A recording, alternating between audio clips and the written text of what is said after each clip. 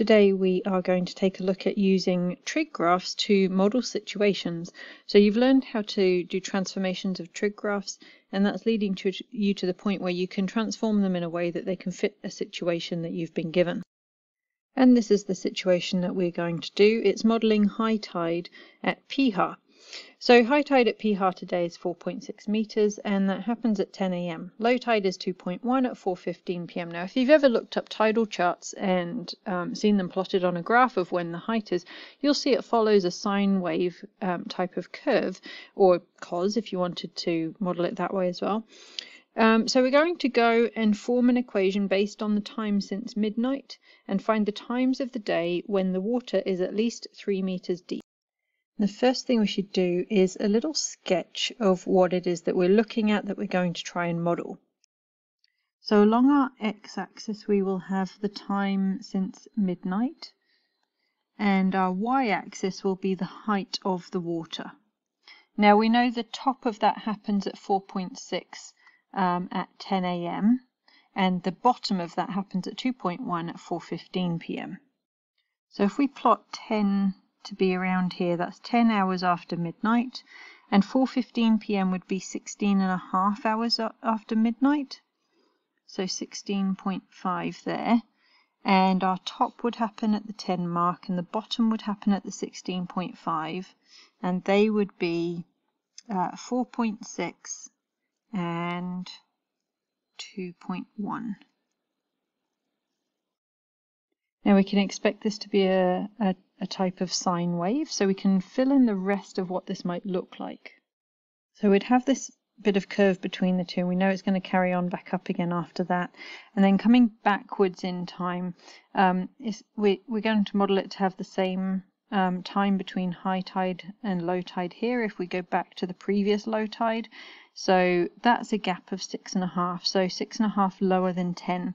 It's going to be something like this and then starts to go back up again. Um, we're not going to, it's going to cross the axis somewhere around there. Okay, so this is just a sketch. It doesn't have to be perfect. It's just helping us to get an idea of what this looks like. So from here we can think about what type of curve we want to model it with. Um, so this is either sine or cos.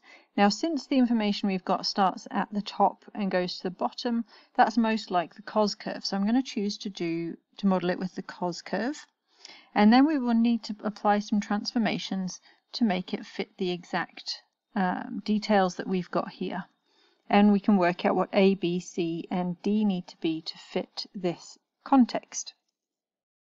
So the thing I'm going to start with is the horizontal shift. Now remember we talked about the top of the curve being here and cos starts at the top so that's why we used cos but cos starts at the top then um, that would put the this bit of the curve back on the axis and it's not on the axis it's to the right by 10 so it's been shifted to the right by 10 which means that our c value will be minus 10 so we can put in if we start off our first stage will be that cos is x minus 10. Okay, that's the first bit. Now that doesn't get the, get us the rest of it. We're going to build up the, the other pieces as well from what we know. But that will get us a shift to the right by 10. The next thing I'm going to consider is the period, which is how long it takes to do a full um, cycle. So we can look at that from this bit to this bit. That's a full cycle before it starts over again. So it was um, six and a half hours this way and six and a half that way. Oh no, not six and a half. I've just realized I made a mistake at the top. It's 415. So it's actually um, this bit here.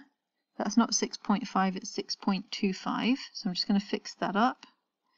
And that makes this 3.75 and these change like so. All right, so we've got 6.25 either way.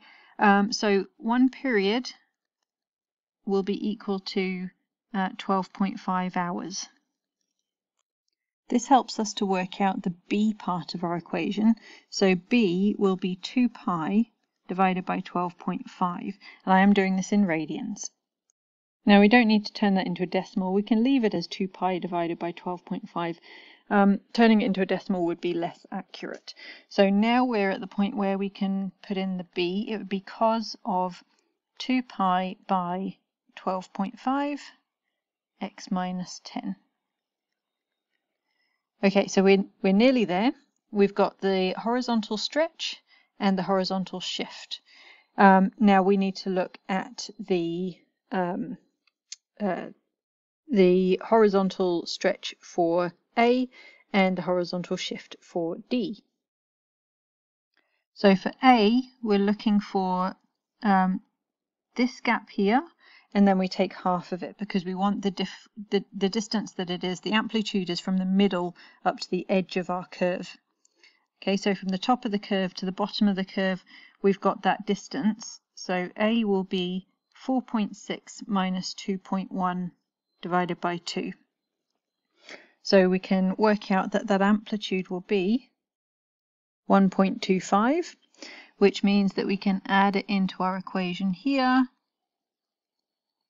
1.25 in there. And our final part now to work out the horizontal shift for D, and that is how far our um, midline is of this, this sine stroke cos curve, um, how far up that's gone. That's now sitting halfway between 2.1 and 4.6. So we've got D is 4.6 plus 2.1 over 2, giving us 3.35. And now we can put that as the last piece in our puzzle. And here is our final equation. Now, my working on here is a bit messy trying to squeeze this all onto one screen for you. Please do it in a nice set out order for your teacher to be able to mark it easily or the examiner or whatever. Um, I would lay these all out making at least one page of A4 uh, and spread out all of your working so it's easy to follow. Now, once you've got the equation there, you should always go over to Desmos and see if it looks like what you were expecting it to be. And here that is, with the places that uh, we were expecting it to be at its lowest and highest. Um, I'll just squeeze that in a little bit to show you the low point here, um, where we had it going to the low tide over here at 16.25. So we've got ourselves a nicely working curve. Now, the other part of the question, if we go back to here, was from this equation, when is the water at least 3 meters deep? We can use Desmos to help us here. If we type in y equals 3, we've got a line there that gives us the 3 meter line. Um, and we can work out when that crosses the um, cos curve that we've got here. So it's at 13.69 and 6.31 and 1.19. We can use those um, pieces to say when it's above 3 meters. So reading off those intersection points from Desmos, we get uh, these values here for when that line goes above the three meter mark and then we just need to turn them into hours after midnight so uh, that becomes 1:11 a.m. between 6:23 and 1:41 p.m. and after 6:49 p.m.